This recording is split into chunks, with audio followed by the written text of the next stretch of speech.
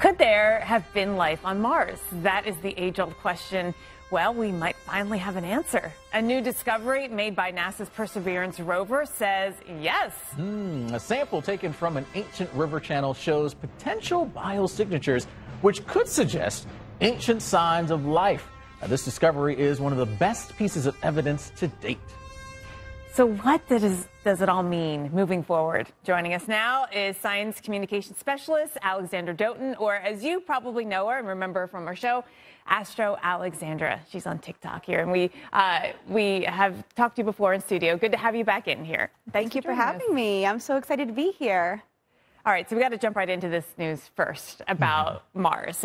It, the discovery is huge. Um, explain what exactly was found in terms of you know, life, previous life on Mars. Yeah, absolutely. So, what we're looking at is the Mars Perseverance rover, which goes around Mars and drills down and takes samples of rocks.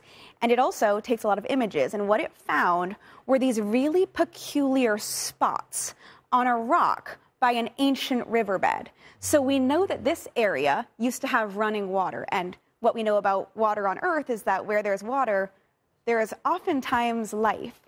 So when it found these peculiar spots, they said, what could this be? And they released this data to the public immediately last year. And for the last year, these scientists have been trying to figure out what these spots could be. And after a year, NASA finally announced we can't come up with anything other than ancient microbes on Mars that potentially use the organic compounds in this rock as an energy source. So it could indicate that a very long time ago on Mars, there was very small life. Wow. And that, that's a big deal, right? Huge. It would be the first evidence, solid evidence of aliens, because even tiny, tiny life is aliens. Well, exactly. Life of some form. We're not mm-hmm. you know, necessarily talking people, but right. life, any kind of life.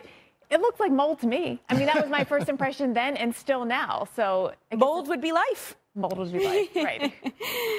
yeah, so it's it's incredibly exciting. Yeah. Um, it doesn't necessarily mean that it couldn't be anything else. Right. There are other things that could create similar spots. Um, sustained extremely high temperatures or acidic reactions or binding by organic compounds, but we don't see any of that there. So by process of elimination, we're kind of left with ancient life. microbial life. So, okay, we've got that information now. How are scientists going to use that going forward to maybe look for more evidence of life? Yeah, absolutely. I mean, honestly, the next step would probably be a Mars sample return mission. So, like I mentioned, it's been collecting all of these samples and leaving them all around Mars. So now we just have to go get them right. so we can bring them back and study what it could be. And that, that's really the next step. But these rovers have incredibly advanced technology. So now that they know what to look for even more, maybe we can find even more interesting rocks. Well, exactly. Collect them all. The next mission, whether it's manned or unmanned, but going back to get them would be fantastic. Mm-hmm. Um, speaking of exploring, though, let's talk about the James Webb. Please. Telescope. I mean, every single image is more extraordinary than the last. Mm-hmm. Some new stunning images just came in. Talk about what we're seeing here. It's it's basically 3,000 light years away, but we're able to visualize it. I mean, look at this. It's just incredible. So what we're looking at here is the Butterfly Nebula. So this is a planetary nebula, which is a misleading name. It's not a planet. It's a star that's expelling its mass at the end of its life. So this is a dying star, and it's just getting rid of everything. And we've had images of this planetary nebula before. But what the James Webb Space Telescope is able to do is it's able to look through dust in ways that other telescopes cannot because it uses infrared light.